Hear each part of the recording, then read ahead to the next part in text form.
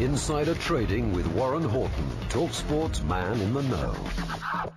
Now, our old mate uh, Rafi Honigstein, German football correspondent uh, on Twitter, was saying earlier on um, uh, the, the Bayern weren't interested in Angel Di Maria. So uh, Bayern weren't interested. He says not. He claims not. Are you hearing that? You're hearing oh, different a good things? fit for them, though. Yeah. Well, it's from from what I've been told again over the weekend, over the last, um, over today as well. PSG are favourites to sign him. As I've mentioned, it's going to be a loan with a view to a permanent deal to kind of defer the payment from now to next year's financial financial um, financial figures. Again, what's what's happening is um, Qatari owners. It's been a month of Ramadan, so a lot of things are, have kind of slowed down in in terms of the business operation. Now you will expect to see the pace in this deal pick up over the next couple of weeks. As I said, loan around eight to ten million pound loan fee, and then it will be a sixty to sixty-five million pounds transfer fee from Real Madrid to PSG for Angel Di Maria. United are interested, but they but PSG are much much further down the line with getting this deal done.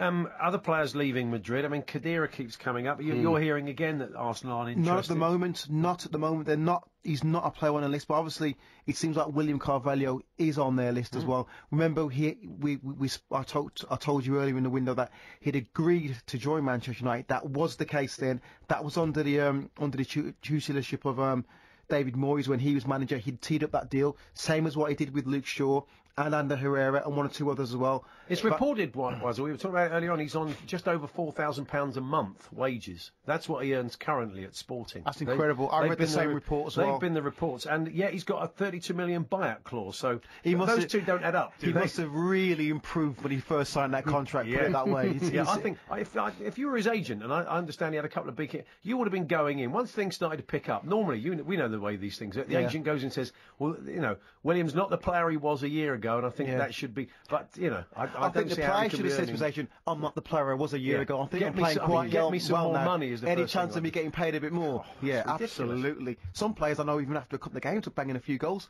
That's for more money. Yes. Yeah, they, they, certainly do.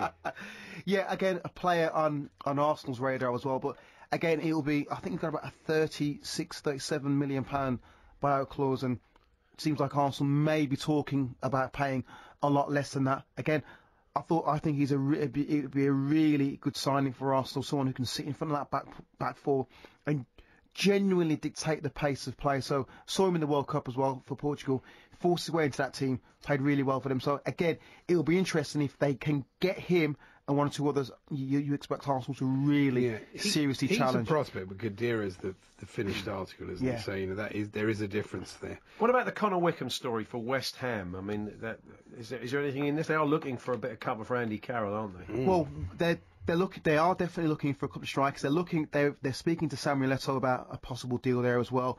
There were some reports about Eto'o. Let me just talk about Eto'o for a 2nd mm-hmm.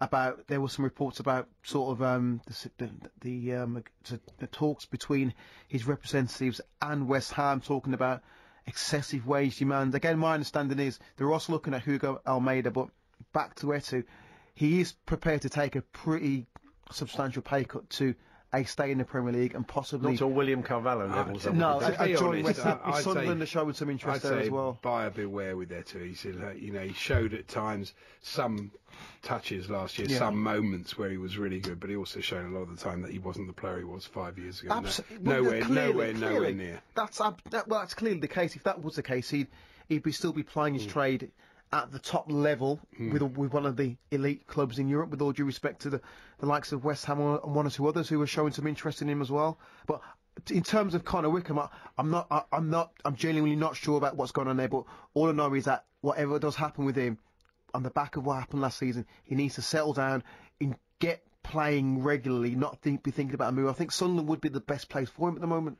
He did really well for them, and they did really well with him. It would seem a shame. They were good for each other, weren't yeah, they? They were very good he, for each other. He does move on. Uh, uh, Graham Courtney was talking last night on Danny Kelly's show about him possibly going to Newcastle, which would be, I mean, not something that wow. you know they following Jack Colback there yeah, as well. Back, so that go down. Oh, that well. would not go down well uh, at all, would it? Manchester United getting. Oh, sorry, go I was going to say it's interesting the Connor Wickham thing, isn't it? I mean, he, he came back very late in the season, got those goals that kind of effectively kept them up. I mean, he looks a confidence player, Paul. You, yeah. You, you, again, you see, he's a classic case of a young English player going from Ipswich to Sunderland for a lot of for a lot of money. Mm. Seemed like he was someone who was sort very well sought after, and it was a case of Steve Bruce of Sunderland, let's get him because a lot of other clubs are after him, and they get these players, and it seemed like they genuinely did not know what to do with him at the time, and went on a couple of unhappy loan spells, and you just need to get go. It's all about career moves. You know, there's a there's a, the same issue at Manchester United with um, the likes of Wolf, Wilfried Zaha as well, from Crystal Palace in the Championship to Manchester United. Was that probably a a move, a move a bit too big for him. We'll, we'll only know that in the next should we year expect to 18 months. should we, well. If a guy's playing regularly for Palace, should we expect to walk, him to walk straight into Man United team? Maybe people have you know odd expectations of players. They kind of expect them to train on too quickly. And what probably didn't help him as well, the man who signed him, Alex Ferguson, left that summer as well. So, Yeah. and you've got a manager like David Moyes who, with all due respect to Wilf Zaha, hasn't really got time to ease him into the team. This guy needs to get that Manchester United, he needs to get that first team ready, and he needs to get results himself to keep him in a job.